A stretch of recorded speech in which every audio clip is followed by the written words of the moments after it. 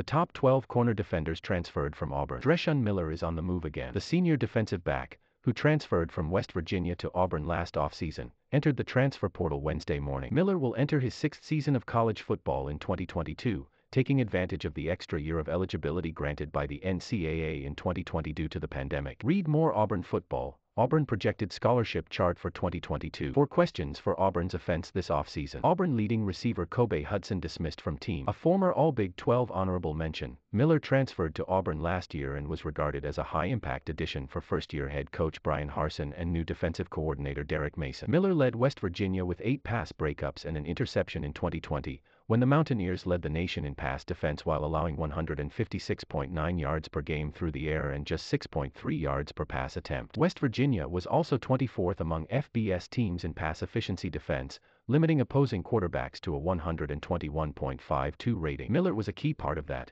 and he was expected to be a major factor in a deep, retooled Auburn secondary this past season. That never came to fruition, though, as Miller struggled to crack the rotation in the defensive backfield for the Tigers. He appeared in just one game, against Alabama State in the second week of the season, and did not record a stat. Miller is the 10th Auburn player to enter the transfer portal since the end of the regular season and the third defensive back to do so. He joins former starting quarterback Bo Nix, running back Shaun Shivers, offensive lineman Tashawn Manning, wide receivers Kobe Hudson and Elijah Canyon, defensive lineman Dre Butler and Caleb Johnson, and defensive backs Ladarius Tennyson and Ahmari Harvey. Tom Green is an Auburn beat reporter for Alabama Media Group. Follow him on Twitter at Tomas underscore Verde.